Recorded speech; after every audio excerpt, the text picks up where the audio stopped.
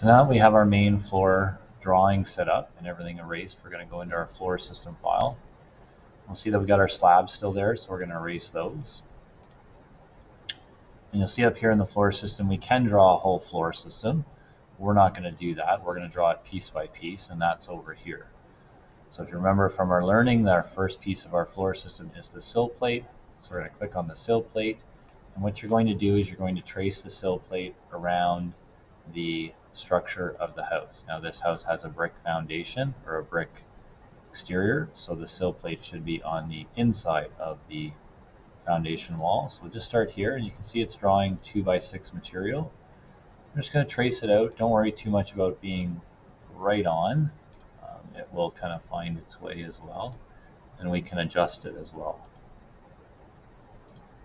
Oh, that one's a little bit off. Now here we could push the floor system out to the outside of the wall because this is the garage. Okay, so not bad. It cleans up and snaps on its own.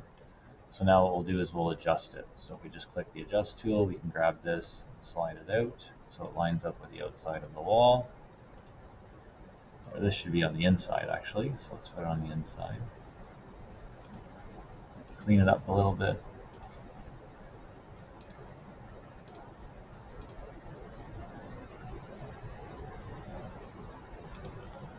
Being really picky here, sorry. She should be able to cover up that dotted line like I'm doing here. And it'll help if you zoom in and kind of see what's going on here. Oh, not good. Don't grab the corners apparently. then it just adjusts the corners. That looks pretty good. Inside, this one can get pushed to the outside. Because there's no brick on the inside of the garage. Okay, that looks good, so we're going to save that.